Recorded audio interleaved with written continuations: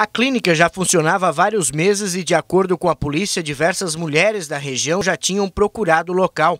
De posse de um mandado de busca e apreensão, foi realizada a entrada na residência localizada na cidade de Braço do Norte. Foram encontrados diversos materiais para a realização do procedimento cirúrgico.